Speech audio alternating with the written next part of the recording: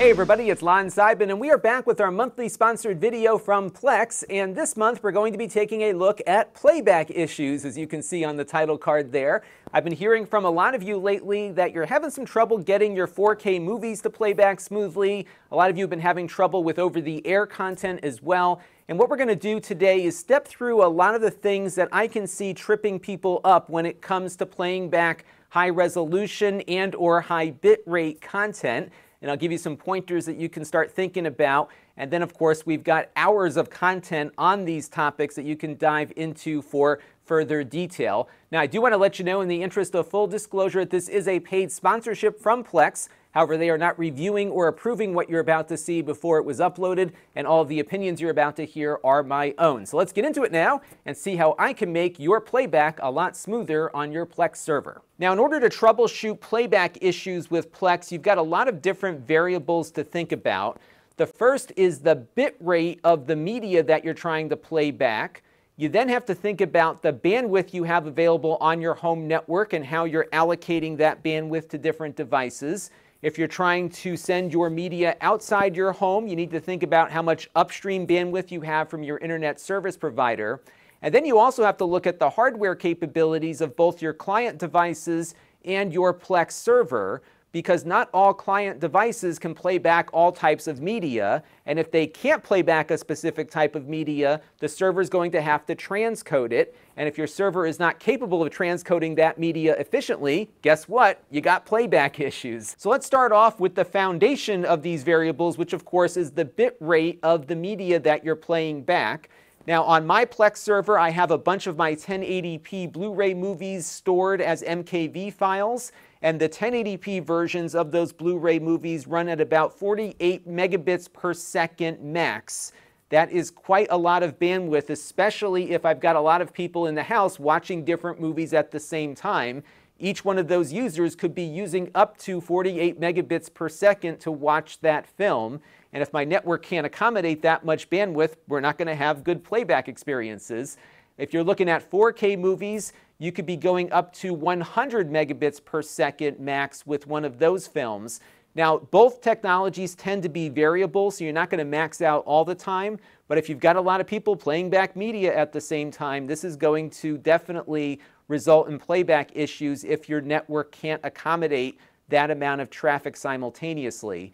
Now, one of the things that I recommend people do within their home network is to use Ethernet as much as possible.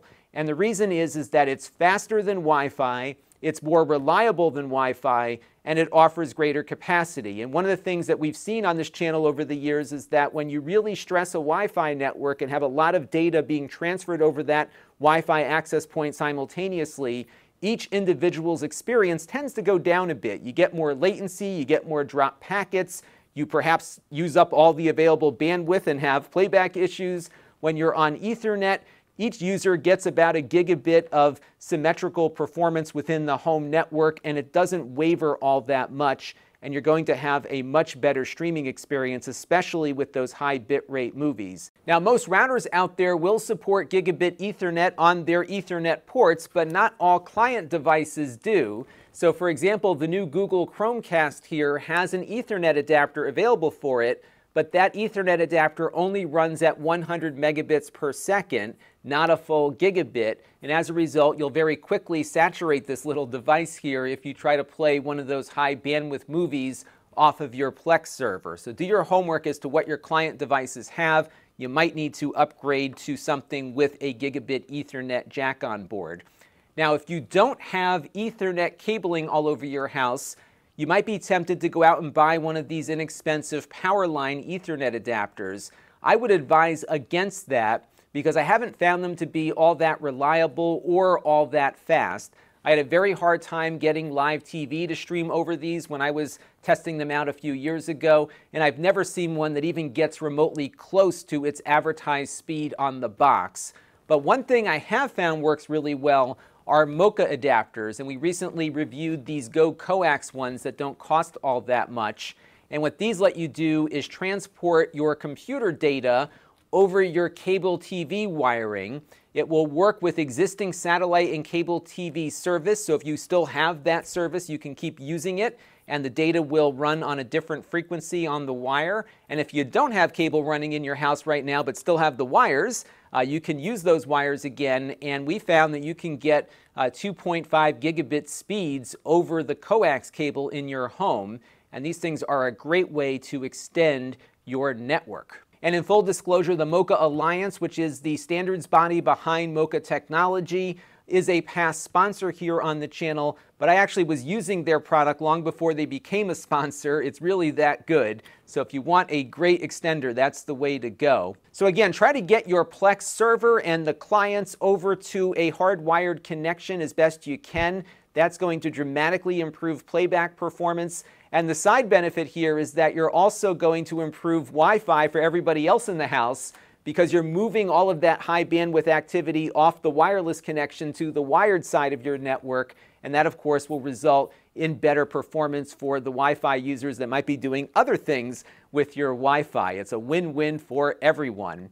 Now, if you are having trouble playing back video outside of your network, you do have to think about your upstream bandwidth. And when you go out to your favorite ISP and shop around for bandwidth, the numbers they give you are typically only the download speeds. They rarely advertise the upload speed. So I would suggest going over to speedtest.net, running a test, and see how fast that upstream connection is so that you can start planning how to divvy up your bandwidth for you and the other people connecting to your Plex server outside of the house.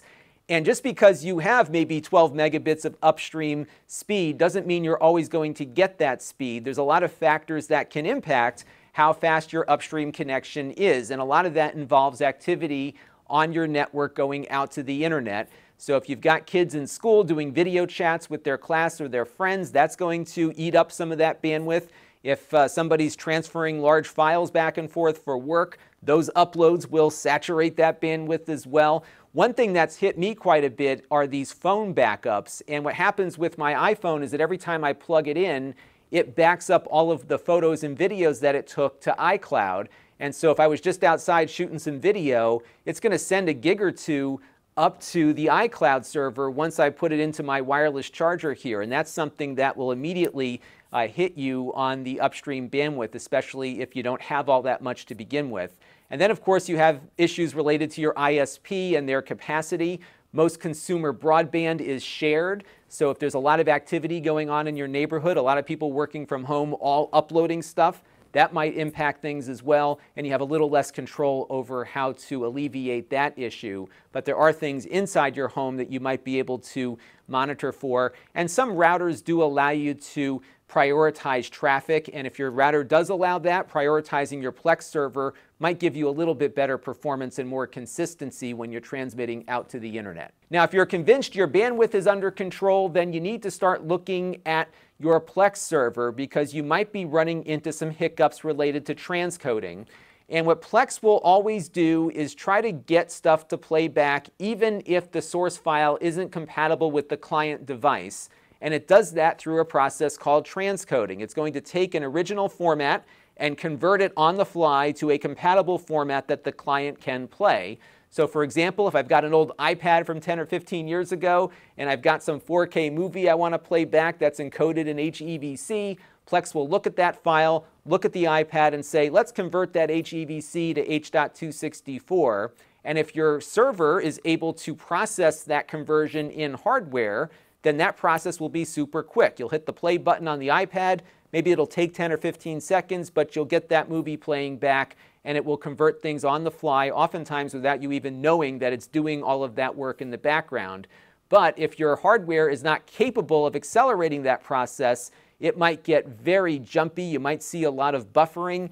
Uh, you might see the server just seize up because it can't process the video fast enough. And then, of course, you'll be noticing those playback issues. Now, the important thing to note on hardware transcoding is that you need an Intel processor with quick sync technology. Uh, we've covered this in depth in the past. And you also need a PlexPass subscription. Now, you can also use a PC with an NVIDIA GPU, but now you're looking at pretty expensive hardware here. And I think for a lot of folks, they just want to set up a NAS or a little mini PC to kind of run their Plex server. And under those circumstances, you're going to need to do some research to make sure that the device you're about to purchase can support hardware transcoding.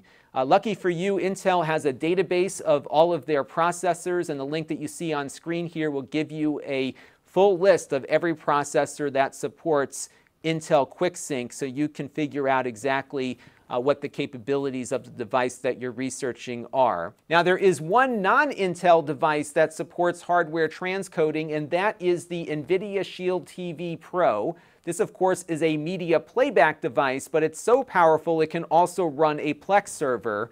And I know many of you out there got started with your Plex experience on the NVIDIA Shield because it's an all in one solution. You can serve media to yourself through the box and get a good sense as to how Plex can work for uh, your media collection. What's cool about the Shield TV Pro is that it doesn't require a Plex pass to get the hardware transcoding. So you can get a good feel as to how transcoding works. You can see it in action, and then when you're ready, you can move over to an independent server that might be able to serve more users simultaneously.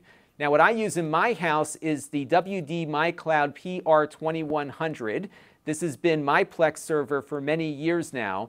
Uh, like the NVIDIA Shield TV, the WD MyCloud PR2100 and its four drive sibling, the 4100, also do hardware transcoding without a Plex pass. Both are powered by a now older Intel chip, the Intel Pentium N3710.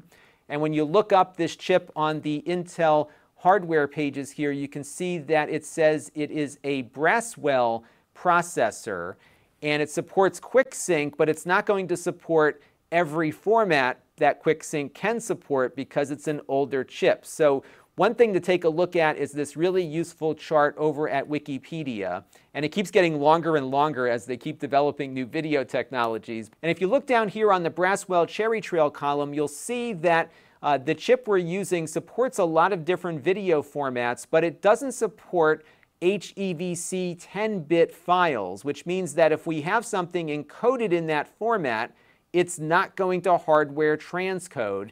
And I've got a great demo to show you related to this, so let's take a look at that. All right, so I'm on my iPhone right now, and I've got two different files that I'm going to play back for you. The first one here is called H264 Demo. Now, this is a file format that my Plex server can hardware transcode, and when I go to play back this file, you will see that it will start up pretty quickly here on my phone. It's almost instantaneous uh, in getting started. Let me just turn the volume down here real quick. And everything's playing back. We're all happy. And if you take a look at my control panel right now, you can see that our CPU load here is not significant. The file is playing back, no issues here. And if we jump up to the top of the screen here, you can see there is some hardware transcoding going on due to my settings. We're converting this uh, 1080p H.264 file into another H.264 stream at a lower bit rate. So it's running at 10 megabits per second, but I think the source file is probably uh, 15 or 20. So it is doing some stuff in hardware here, and as you can see, everything started up quickly without too many problems. No big deal, right? So let's go out here and uh, close out the video. And I'm going to switch over to a similar file that is a 10-bit HEVC file at 4K. Now watch what happens uh, when I go to play that file back. We'll just go here and resume it from where I last left off. And it's going to take a long time to get started here.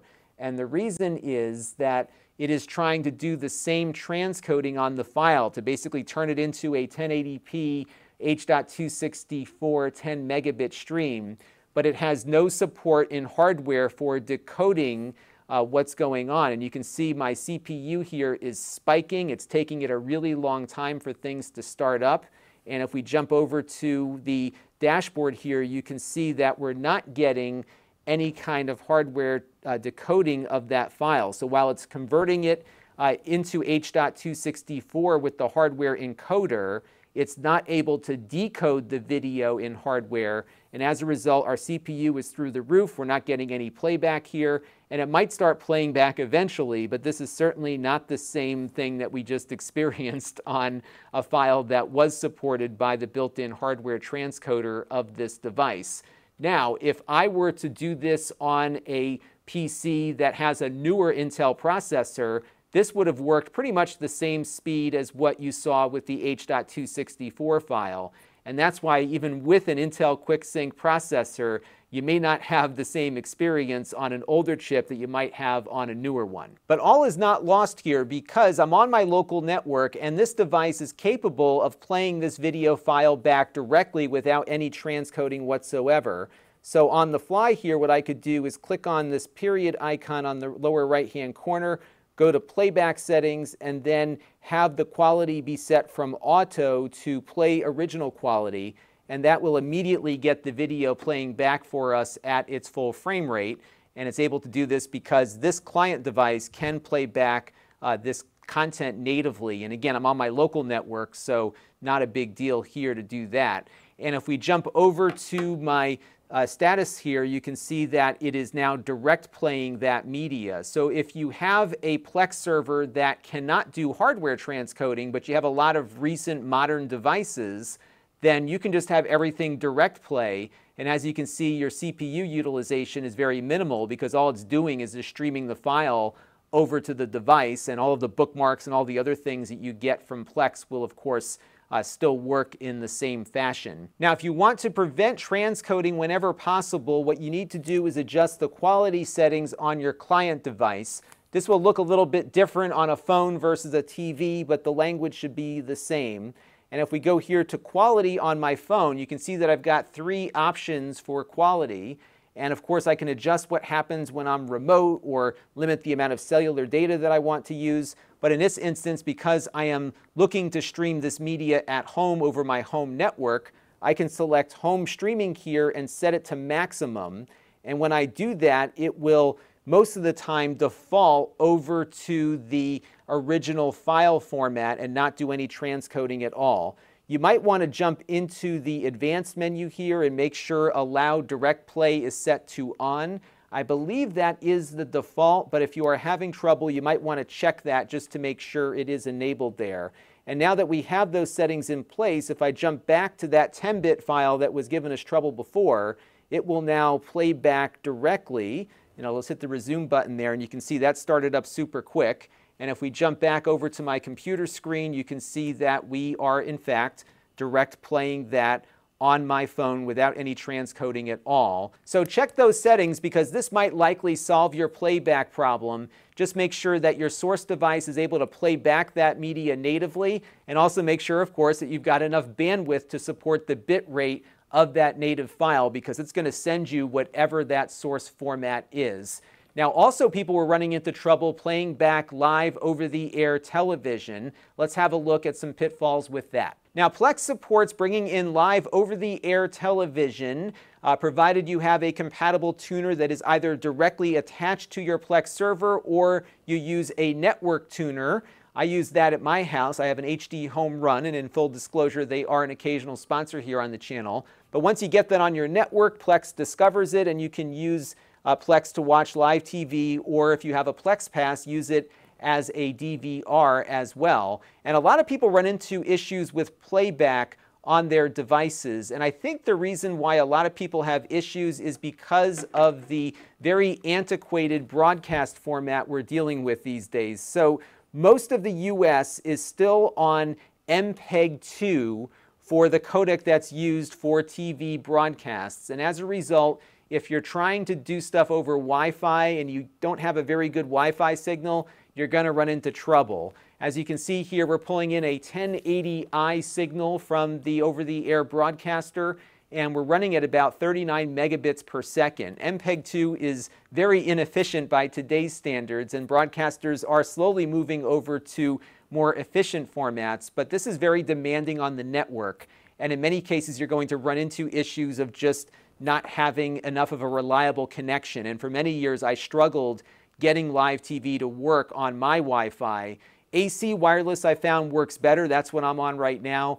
2.4 gigahertz Wi-Fi doesn't seem to cut it, and I had a lot of problems with power line as well. I also noticed that sometimes Plex tries to transcode the video even though I have my phone set to original settings. So sometimes you have to force it to play back the original format too. So I would really look to your network as the issue here with over-the-air content. And you might also want to make sure that the devices you're streaming to support native MPEG-2 playback. Most televisions do, but many other devices do not because there are some licensing fees involved for the manufacturer. So if that device doesn't support MPEG-2 playback natively, it might force a transcode even if you have those direct play settings in place.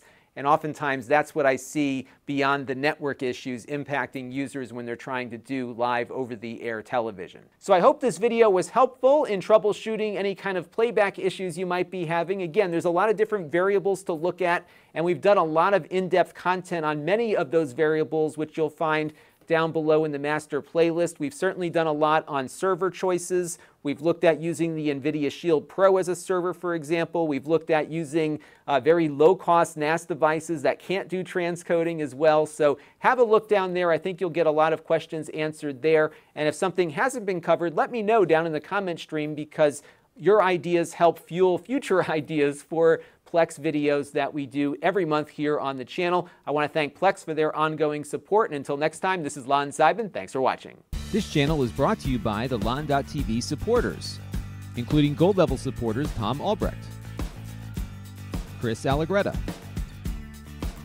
Mike Patterson, and Bill Pomerantz. If you want to help the channel, you can by contributing as little as a dollar a month.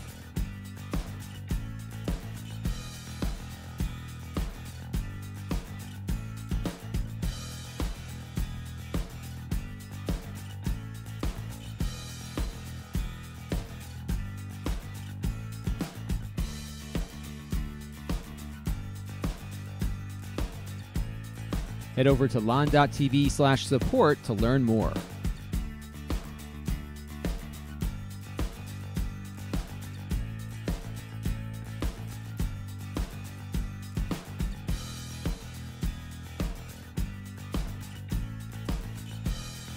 And don't forget to subscribe. Visit lon.tv slash s.